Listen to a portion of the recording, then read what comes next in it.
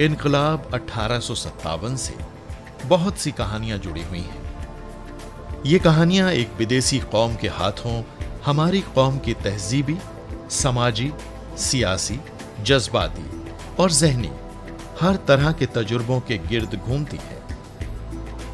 जवाहरलाल नेहरू ने लिखा था, अंग्रेज़ों की आमद से पहले भी हमारी कौम को सियासी शिकस्त के तजुर्बे से गुजरना पड़ा था। मगर ऐसे लोगों के ज़रिए जो हिंदुस्तान आए तो यहीं के होकर रह गए, जिन्होंने हिंदुस्तान को अपना घर बना लिया। मगर अंग्रेज़ कौम यहाँ रहने के लिए नहीं, बल्कि एक व्यापार करने के लिए आई थी। उसके कारोबार में सियासत भी शामिल थी। मौलाना मोहम्मद हुसैन आज़ाद दिल्ली के एक मशहूर घराने के फर्द थे। उनके वालिद मौलवी मोहम्मद बाकर अंग्रेज़ों के जब्र से आज़ादी का झंडा बुलंद करने वालों में पहले सहाफी थे, जिन्हें शहीद कर दिया गया। दुख के अंबार उठाने के नतीजे में आज़ाद का होश खो बैठना और ज़िंदगी के 20 साल दीवानगी में गुजार देना। लेकिन आजमाइश की इस ज़िंदगी में भी वो उर्दू जबान और उर्दू अदब को माला माल कर गए। मोहम्मद हुसैन आज़ाद। ये एक अजीब गरीब कहानी का उन्मान भी हो सकता है। मौलाना मोहम्मद हुसैन आज़ाद एक जीती जागती शख्सियत के मालिक थे। हमारी अदबी रवायत में उनकी कई हैसियतें हैं। वो एक बहुत मशहूर नसर नगार इंशा परदाजी के एतबार से गैर मामूली एतबार रखने वाले, हमारी अदबी तारीख़ के अवलिन कहना चाहिए लिखने वालों में, इसी के साथ साथ नक्काद शायर, ड्रामा नवीस, इंशाइया नवीस, गर्ज़े की कई हैसियतें थीं उनकी। और जिन्होंने उन्नीसवीं सदी का ज़माना, जो नशत सानिया का ज़माना कहलाता है, उस ज़माने में हिंदुस्तान के में जब एक नए शूर की दागबेल डाली जा रही थी, उसे फ़रोग देने में एक गैर मामूली रोल अदा किया। उन्होंने एक, कहने को तो एक लंबी उम्र पाई, लेकिन तकरीबन 21 बरस वो दीवाने रहे। अपने एक लेक्चर में उन्होंने कहा था कि जुनू एक तरह से लाजम शायरी है, खुदा हर एक को ये नेमत नसीब करे। अब देखिए, ये अजीब बात थी, पता नहीं किस लम्हे में उन्होंने ये बात कही थी कि इस बात का इतलाक़ उन्हीं की अपनी ज़िंदगी पर हो गया। यानी तकरीबन अपने मौत से 21 बरस पहले उनका दिमाग कहना चाहिए तोज़ुन कायम न रख सका और उन्होंने दीवानगी के आलम में। उस वक्त भी लेकिन किताबें लिखी उन्होंने। 20-25 किताबें उन्होंने रसायल लिखे, ऐसे लिखे हैं जिनकी नसर आज भी शौक़ से पढ़ी जाती है और जिनके बारे में गुमान होता है कि दीवानगी के बावजूद जहाँ मानी का रब तो नहीं है, लेकिन ज़बान ऐसी लिखती है आज़ाद ने जो गैर मामूली है। उनके एक मर्रख डॉक्टर असलम फर्रुखी का तो ख्याल ये है कि इस तरह की किताबों की रसालों की तादाद मजमू तौर पर सत्तर तक पहुँचती है। उन्होंने काम भी आज़ाद पर बहुत किया है। आज़ाद ने उर्दू की पहली रीडरें भी लिखी। बच्चों को पढ़ाने के लिए। एक किताब लिखी जिसमें कसस हिंद के नाम से, जिसमें हिंदुस्तान की तारीख़ को किस्सों में बयान किया। एक किताब लिखी उर्दू की रीडरें, जिसके इलस्ट्रेशंस उस ज़माने में रुडियार्ड किपलिंग के वालिद जॉन किपलिंग ने बनाए थे। उन्होंने उर्दू की सबसे मशहूर तारीख़, कहना चाहिए पहली तारीख़ जो लिखी, वो है आब हयात। इसी के साथ साथ उनका सफ़रनामा सैर ईरान। लसानियात पर उनकी किताब एक तरीके से लसानियात के इब्तदाई, यानी सतह पर लसानियात के मजमरात से बहस करती है सुखनदान फ़ारस, उनकी इंशाइए नरंग ख्याल, उनकी तारीख़ की किताबें, दरबार अकबरी ख़ास तौर पर। खुशी की बात यह है कि आज़ाद पर गुफ्तु के लिए इस वक्त हमें दो ऐसे, यानी उर्दू के दानश्वर मल्लम यानी मिल गए हैं, जो मोहम्मद सन आज़ाद के, की खदमात की परतें खोलेंगे और उनके बारे में गुफ्तु करेंगे। एक तो प्रोफेसर असलम परवेज़ बैठे हुए हैं जो दिल्ली के रहने वाले हैं, दिल्ली स्कूल पर जिनकी बहुत, इनकी नज़र तो बहुत से मौजूद पर है, लेकिन ख़ास तौर पर दिल्ली की रवायत पर बहुत गहरी नज़र रखते हैं और उन्नीसवीं सदी के नसर पर, बीसवीं सदी के नसर पर, शायरी पर जिन्होंने बड़ा काम किया है, असलम परवेज साहब। आज़ाद से गैर मामूली दिलचस्पी रखते हैं। इस वक्त वो उर्दू का एक बहुत मशहूर जर्नल एडिट कर रहे हैं, उर्दू अदब के नाम से, जो अंजुमन तरक्की उर्दू से शाया होता है। इसके अलावा हमारे साथ हैं प्रोफेसर मोइनुद्दीन जीना बड़े बड़े नामवर अफसाना निगार। ताबीर के नाम से उनके अफसानों का एक मजमू शाया हो चुका है और ज़ाहिर है कि उन्होंने हमारे ज़माने के बहुत से वाक़ात पर ऐसी जीती जागती कहानियाँ लिख दी हैं, जहाँ ये फ़ैसला करना मुश्किल है कि वाक़ बड़ा था या कहानी उससे आगे बढ़ गई है, कहानी बड़ी है।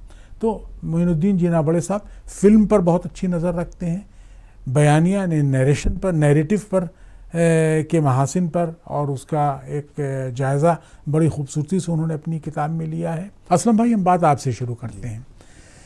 आज़ाद मुझे हमेशा एक दर्द के एहसास के साथ याद आते हैं। यानी बड़े अच्छी शक्ल सूरत उनकी, जो बड़ी पाकिज़ा उनके खदो खाल, ईरानी नस्ल ज़ाहिर की एक तरीके से थे वो।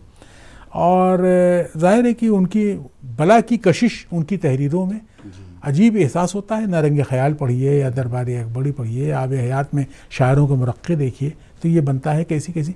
और उस आदमी ने कैसी आजमाइशों से भरी हुई ज़िंदगी गुजारी। उसको कभी अपनी सलाहियतों के मुताबिक उस, उसके शाय निशान नौकरी नहीं मिल सकी। अंग्रेज़ों ने उसे हमेशा दबा के रखा। जब वो लाहौर गए, पंजाब बुक डिपो में मुलाजिम हुए, उन्नीसवीं सदी का वो ज़माना याद कीजिए। और फिर ये कि इन तमाम बातों का फिर उसने गदर के हाथों जो तकलीफ़ उठाई। उनके बाप मौलवी मोहम्मद बाकर दिल्ली के रहने वाले, जो कहना चाहिए कि हिंदुस्तान में शहीद होने वाले पहले सहाफ़ी थे, जिन्हें, जिन्होंने अपनी जान दी, अपनी सहाफ़त की वजह से। एक उनकी जवान बेटी, जिसका अचानक इंतकाल हो गया। एक शीरख्वार बच्ची छोटी सी, जो गदर के ज़माने में अट्ठावन के ज़माने में धमाके की आवाज़ सुन करके उसकी जान निकल गई। और ख़ुद इकबाल यानी ख़ुद आज़ाद ने जिस तरह दीवानगी के आलम में 21 बरस गुजारे, यहाँ से पैदल मालूम चलते हुए लाहौर जा पहुँचे और कहते यहाँ उन्होंने तालीम हासिल की थी फोर्टीन इसमें दिल्ली कॉलेज में। मास्टर रामचंद्र के शागिर्द थे। आप ज़ाहिर कि उनके मुख्तलिफ़ खसूसियात पर नज़र रखते हैं। उनके बारे में कुछ आप गुफ्तु का आगाज़ करें। भाई आज़ाद की शख्सियत बड़ी दिलचस्प है और हम लोगों ने जब उर्दू में तालीम हासिल करनी शुरू की और एम की सतह तक पहुँचे तो सबसे पहले हमारा तारुफ हुआ आज़ाद की किताब आब हयात से। और आज़ाद की तो एक से एक किताब जो है वो अपनी जगह बहुत खूब है। लेकिन आज़ाद की जो आब हयात है, वो एक ऐसा नक्श छोड़ती है। एक तो इतनी दिलचस्प उसकी नसर है, इंशा परदाजी का बेहतरीन नमूना है और कई चीज़ों में उन्होंने पहल की है। यानी उर्दू का सही मानों में वो पहला तस्करा है। उससे पहले फ़ारसी में तस्करे लिखे जाते थे। फ़ारसी में तस्करों में ज़िक्र शायर का दो चार सत्रों में होता था और कुछ नमूने अशार होता था। इसमें शायर का तनकीदी महकमा भी है उसकी ज़िंदगी के हालात भी हैं उसकी शायरी के नमूने भी हैं और उसके साथ साथ जो आज़ाद के अपने जो तरजीहत थी उसके हिसाब से उसका महकमा भी है। कलमी खाके कलमी खाके यानी वो अपनी जगह पर कलमी खाके बहुत उमदा हैं। और एक उनके कमाल ये है कि जिन लोगों के साथ उनको ज़रा सा कुछ कद है उनका ज़िक्र इतनी खूबसूरती से तमाम तारीफ़ें करके सिर्फ़ एक जुमला वो बयान करते हैं और वो जुमला ऐसा होता है कि वो उनकी उस तमाम तारीफ़ पर भारी पड़ जाता है। इस तरह इंशा और मुसैफ़ी का ज़िक्र है। तो मुसैफ़ी को के मुकाबले में वो इंशा को ज़्यादा पसंद करते थे। आज़ाद पहले शख्स हैं जिन्होंने तस्करे में अपने आब हयात में लिसानी मबाइस भी उठाए, यानी ज़बान की इब्तदा। और उन्होंने पहले, यानी उस वक्त तक लिसानियात का कोई शूर नहीं पैदा हुआ था। लिसानियात का कोई इल्म बाकायदा हमारे यहाँ शुरू नहीं हुआ था। लेकिन उन्होंने पहली मरतबा उर्दू की इब्तदा से मुतल बहस की। और बड़ी बात यह है कि उर्दू की इतनी शानदार सारी तख्लीक़ात जो उनकी हैं और जिससे वो दिल्ली और दिल्ली की नज़र पहचानी जाती है और वो दिल्ली वाले जैसे सारी बैठ के लाहौर में लिखी है उन्होंने। देखिए एक बात आज़ाद के सिलसिले में बहुत अजीब व गरीब। शिबली ने भी दाद दी थी गर्चे जुमला उनका सख्त था थोड़ा। उन्होंने कहा कि वो तहकीक का मर्द मैदान नहीं है लेकिन इधर उधर की गपें हाँक देता है जब भी वही मालूम होती हैं। दूसरी बात ये कि आपको याद होगा जी वड़े साहब कि इन्होंने मेहदी अफादी ने उर्दू नसर के अनासर खमसा का जब ज़िक्र किया तो ये कहा कि साहब नज़ीर अहमद मज़हब के बगैर लकमा नहीं तोड़ सकते। शिबली जो है अगर उनसे आप तारीख़ को अलग कर दीजिए तो कुछ नहीं रह जाते। नज़ीर अहमद के यहाँ ये है शिबली के यहाँ ये है हाली के यहाँ ये है। लेकिन ये कि हमारा किला मोल्ला का हीरो जो है वो आज़ाद है जिसे किसी सहारे की ज़रूरत नहीं। यानी ख़ुद अपनी नसर के बलबूते पर। इस लिहाज से जब आप उर्दू नसर की पूरी रवायत में देखते हैं उनको तो क्या महसूस करते हैं?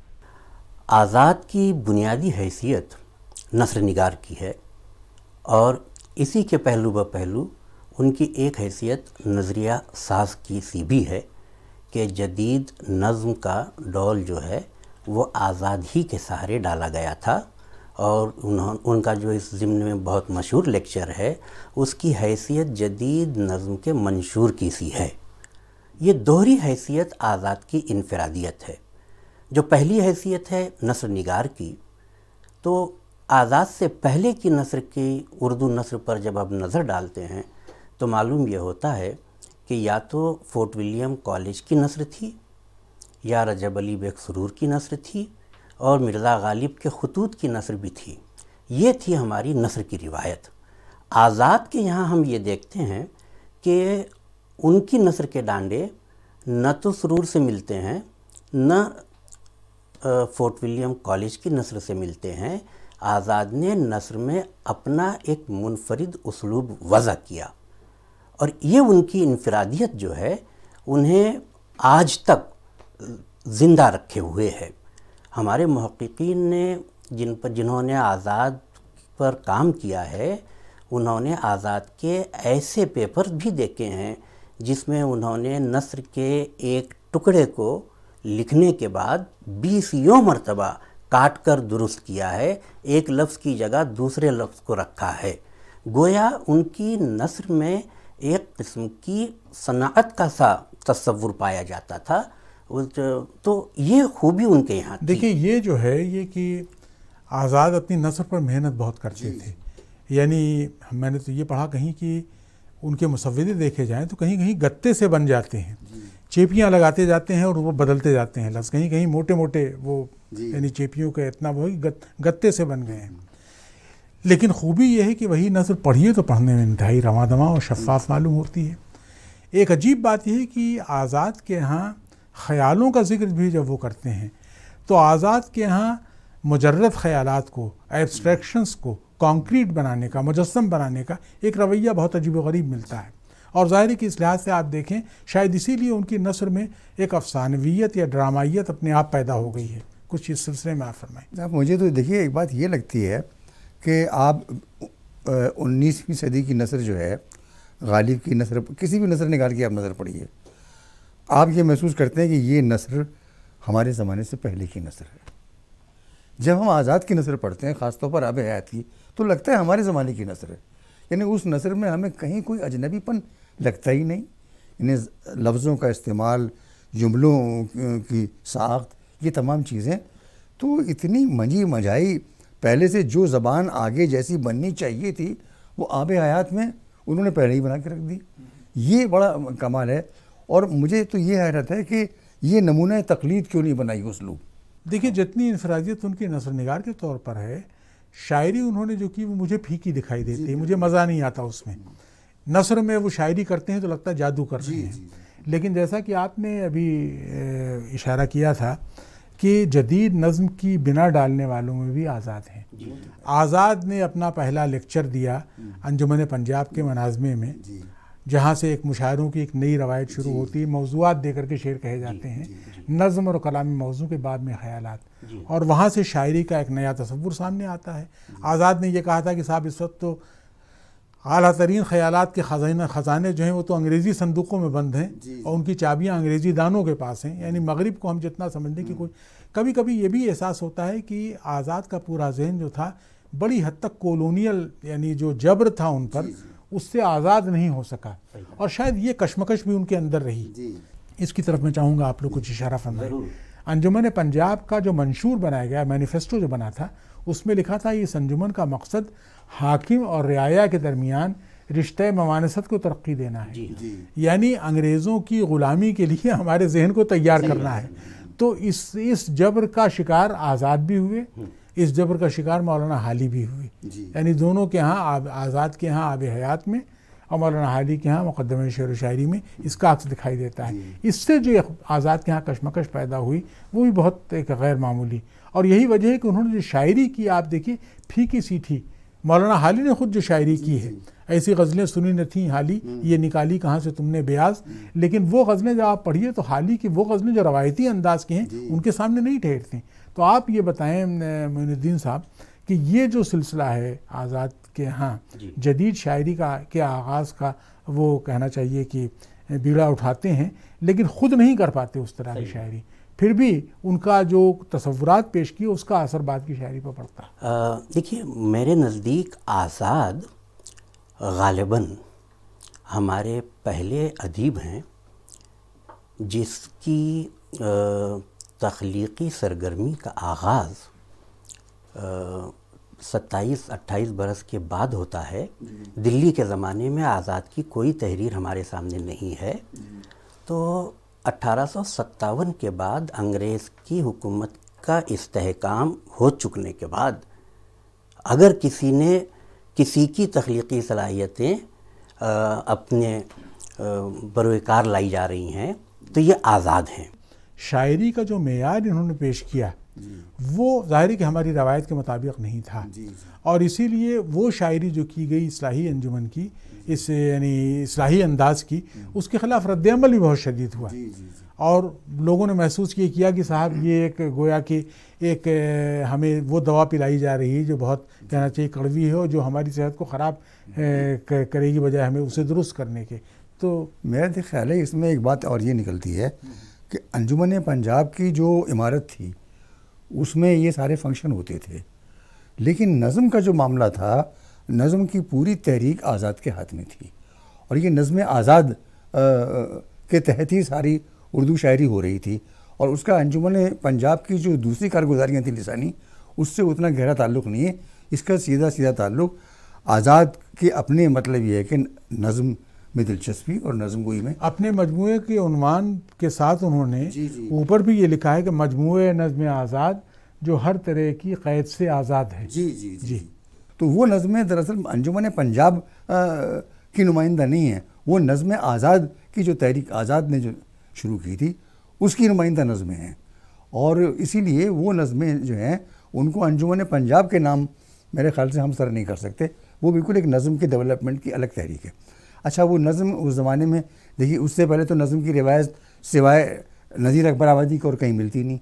उसके बाद ये आती है, नज़ीर अकबर आबादी के यहाँ एक दूसरा सिलसिला था। यहाँ पर एक शूरी कोशिश थी और उसमें ये भी था कि एक सोशल कॉन्शसनेस शायरी में आनी चाहिए और उसमें इसलाही मजामी भी आनी चाहिए। ये तमाम चीज़ें आनी चाहिए और फिर ये कि जो मुख्तलिफ़, जो जॉनर्स हैं शायरी के, उनका डेवलपमेंट हो वो तमाम चीज़ों का वहाँ हुआ मसनवी का हुआ अब, अब, अब, और दूसरी तमाम चीज़ों का हुआ।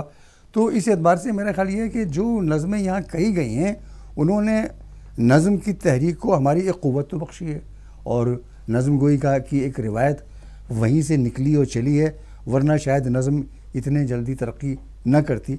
तो ये एक सीक्वेंस यूँ बन के चला आता है और मेरा ख्याल है इसका जो सर चश्मा जो है वो नज़म आज़ाद की तहरीक है। इस सिलसिले में मैं चाहता ही हूँ कि आप कुछ फरमाएँ। मेरा मामला ये है शमी हनफी साहब कि ये जो नज़म आज़ाद जिसे हम कह रहे हैं नई नज़म ये बहरहाल कलोनियल एजेंडे का हिस्सा थी। और सेक्रेटरी का लेटर है जिसे कोट किया है मोहम्मद सादिक साहब ने अपने पीएचडी थेसिस में भी और बाद में अंग्रेज़ी में जो उन्होंने हिस्ट्री ऑफ़ उर्दू लिटरेचर लिखी कि सेक्रेटरी साहब ने सरिश्ता, तालीम कर्नल हल राइट्स को ख़त लिखा कि साहब ये वाहियात किस्म की शायरी जो है हिंदुस्तान में पाई जाती है और ये हमारे दरसी किताबों के काम नहीं आएगी। आप उस, एक गालिब का नाम लिया, दो एक और शायरों का नाम लिया, इनके यहाँ कुछ मतलब की शायरी निकले तो देख लीजिए, वरना आप तरह डालिए नई शायरी की। ताकि ये बामाना ज़िंदगी से करीब शेर कह सकें।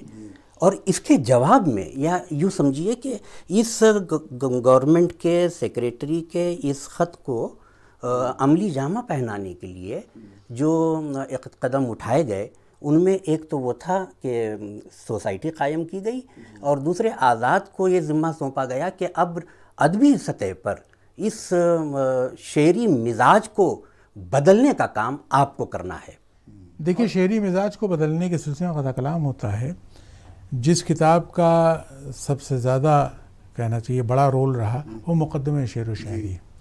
मुकदमे शेर व शायरी ने कहना चाहिए, हमारी तारीख का महवर बदल दिया, रुख बदल दिया। उसमें हाल ही ने इस बात पर ज़ोर दिया कि साहब, शेर की खूबी क्या होती है? असलियत, सादगी और जोश। वो सिंपल सेंसुअस पैशनेट अंग्रेज़ी के इन अल्फाज का तर्जुमा उन्होंने किया था। शायरी की खूबी क्या होती है? मुशाह कायनात तफहस अल्फाज और तखयल यानी इमेजिनेशन और लफ्ज़ों की छानबीन और कायनात का मताल यानी मुशाह फिर उन्होंने ये कहा कि साहब शायरी से दुनिया में बड़े बड़े काम लिए जा सकते हैं वगैरह वगैरह। इस तरीके से सोचने का एक सोचने की एक रवायत हमारे यहाँ शुरू हुई उस वक्त।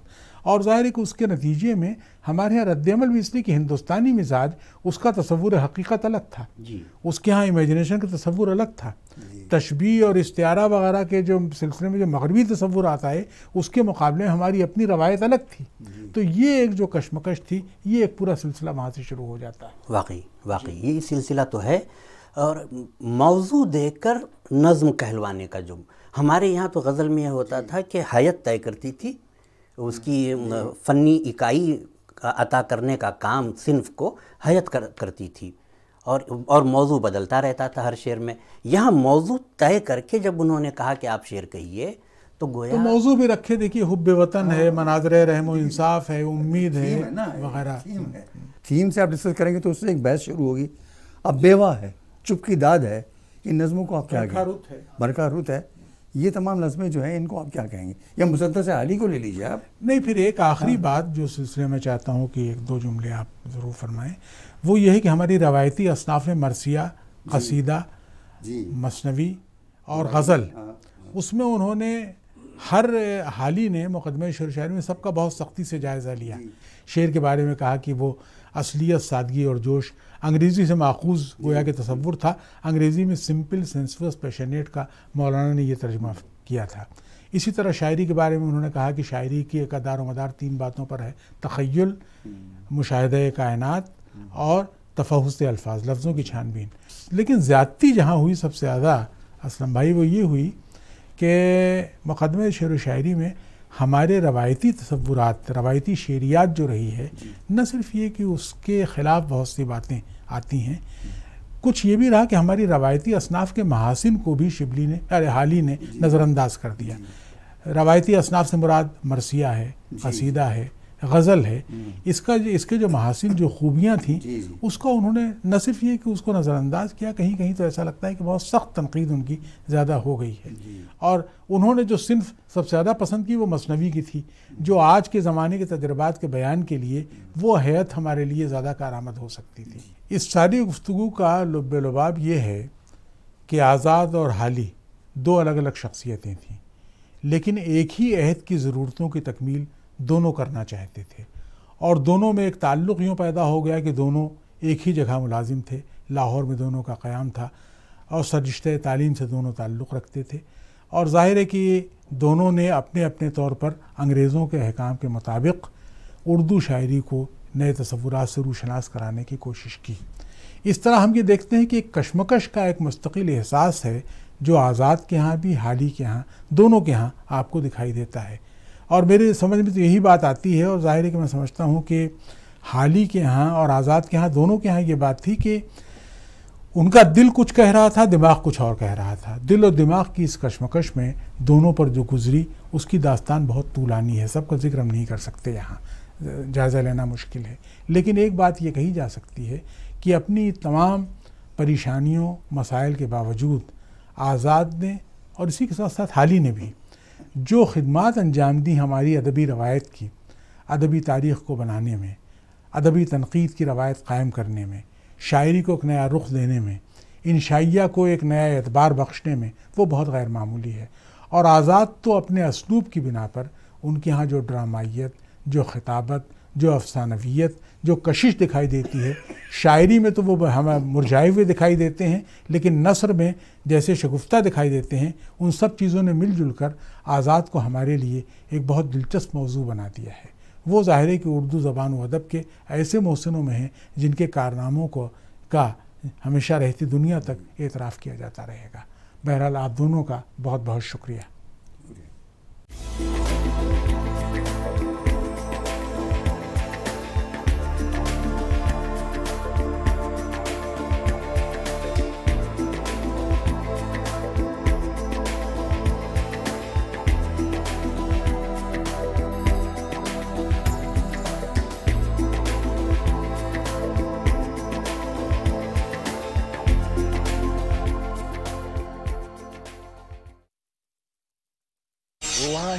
को काटता है महाराज। दूरदर्शन